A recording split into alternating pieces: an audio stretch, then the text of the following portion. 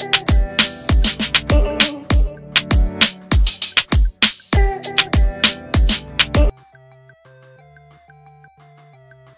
ธาเอฟเฟกพูดถึง สังเวียน สุราพื้นบ้านสุพรรณบุรีไม่ถึงวันคนแห่จองหมดโรงงานพิธาเอฟเฟก พูดถึง สังเวียน สุราพื้นบ้านสุพรรณบุรีไม่ถึงวันคนแห่จองหมด โรงงานโซเชียลระบุสิ่งนี้คือซอฟต์พาวเวอร์อย่างโดยแท้จริงวันที่ 2 มิถุนายน 2566 หลังจากนายพิธาลิ้มเจริญรัตหัวหน้าพักก้าวไกล และแคนดิเดต นายกรัฐมนตรีได้ให้สัมภาษณ์ตอนหนึ่งรายการ คุยนอกจอ ที่ดำเนินรายการโดยนายสรยุทธ์สุทัศนจินดาในเรื่องของสุราก้าวหน้าโดยช่วงหนึ่งนายพิธาได้พูดถึง สังเวียน สุรากลั้นจากจังหวัดสุพรรณบุรีที่ผลิตโดยใช้น้ำหวานจากอ้อยสดมาหมัก ให้เกิดแอลกอฮอล์แล้วนำไปกลั่น ล่าสุดแฟนเพจ Facebook และทวิตเตอร์ ประชาชนเบียร์ระบุว่า ตอนนี้ที่โรงเหล้าสังเวียนวุ่นวานมาก หลักจากนายกพิธาลิ้มเจริญรัตพูดถึงเมื่อเช้าตกเย็นของหมดโรงงานขณะที่คอมเมนต์ในโลกโซเชียลต่างแสดงความเสียดายที่ไม่สามารถจับจองได้ทัน พร้อมระบุว่านี่คือซอฟต์พาวเวอร์โดยแท้จริง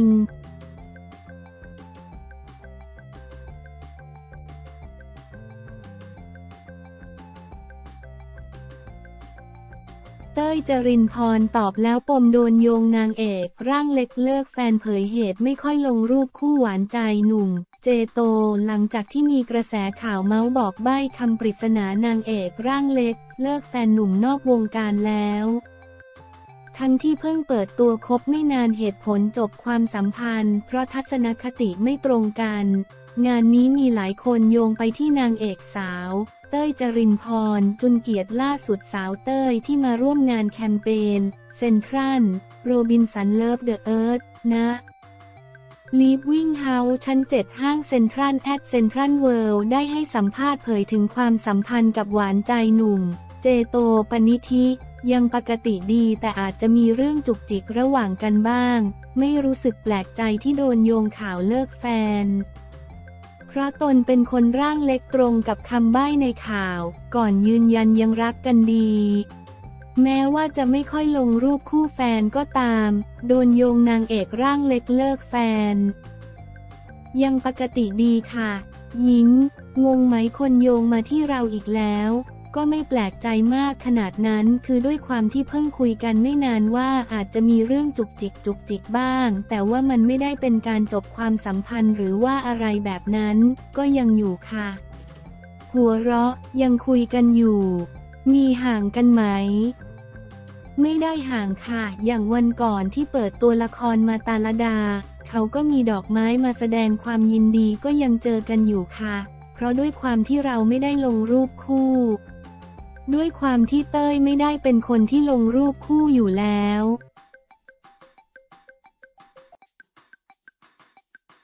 สำหรับเต้ยถ้ารู้สึกว่าเหมาะสมถึงเวลาที่อยากลง เต้ยก็คงลง แต่ก็คงไม่ถึงกับไม่ลงเลยนะ ก็มีแบบแวบแวบๆบ้างในสตอรี่ให้รู้สึกว่าเราลงแล้ว ยิ้ม กระแสข่าวบอกทัศนคติไม่ตรงกันยืนยันว่าไม่ใช่คู่เรา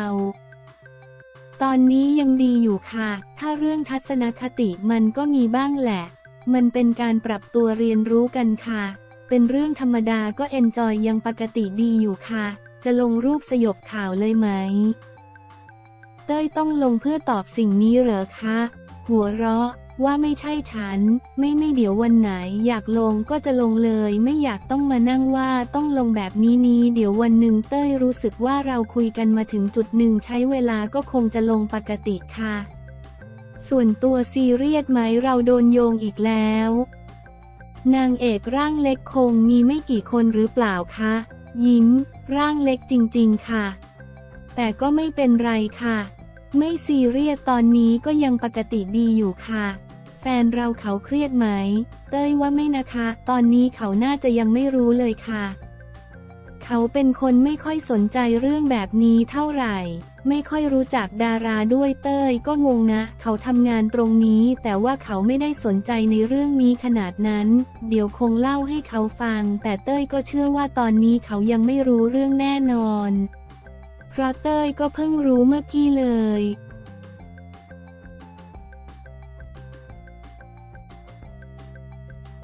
ทิธาดึง คนนอก นั่งรัฐมนตรีเชื่อก้าวไกลไม่แตก ไม่รู้อิงเป็นรัฐมนตรีว่าการกระทรวงต่างประเทศหรือไม่พิธารับกำลังสรรหา คนนอก นั่งรัฐมนตรี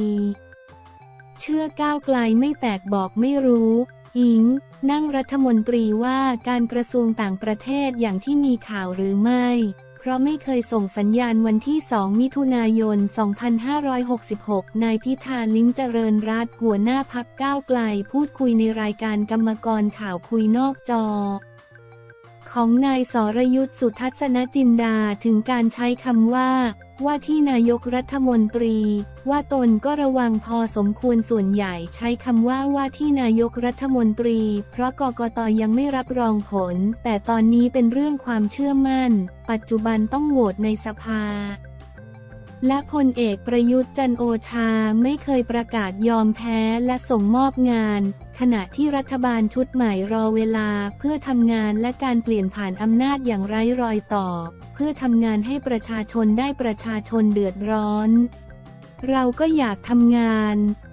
ไม่มีเวลาฮันนีมูนและปฐมนิเทศเมื่อสภาเลือกเป็นนายกรัฐมนตรีแล้วก็ทำงานได้เลย โดยเอาประชาชนและบ้านเมืองเป็นที่ตั้ง ซึ่งประชาชนรอไม่ได้คิดว่าไม่มีเวลาฮันนีมูนต้องเข้าใจตั้งแต่ตอนนี้ ถึงเวลาก็สั่งการทำงานได้เลย ถือเป็นโมเดลใหม่ของการเมืองไทย แม้จะเป็นเรื่องปกติของโลกสากล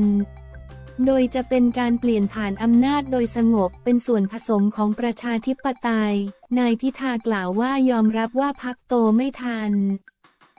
ซึ่งการเติบโตก็ต้องมีความเจ็บปวด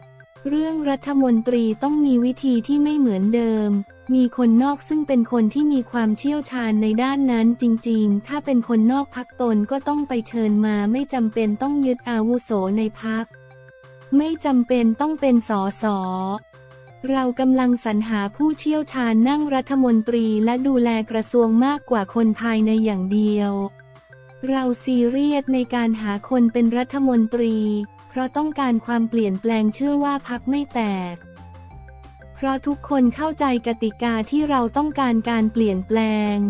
ดังนั้นรัฐมนตรีคนนอกมีแน่ แต่จะมากน้อยต้องดูความเหมาะสม นายพิธากล่าวนายพิธากล่าวว่าส่วนการควบตำแหน่งรัฐมนตรีนั้น ถ้าจำเป็นต้องควบก็ควบ ซึ่งตนสนใจต่างประเทศเศรษฐกิจกลาโหม แต่ถ้ามีบุคลากรที่เก่งกว่าก็ต้องให้เขาทำการเป็นผู้นำไม่ต้องทำทุกอย่าง ไม่ได้ผูกขาดต้องทำงานเป็นทีมเราดูภาพกว้าง แล้วมีคนลงลึกให้เราก็จะดีกว่า ส่วนที่มีข่าววนสอแพทองทานชินวัตรแคนดิเดต นายกรัฐมนตรีของพรรคเพื่อไทย สนใจตำแหน่งรัฐมนตรีว่าการกระทรวงต่างประเทศนั้น นายพิธากล่าวว่าไม่รู้นสอ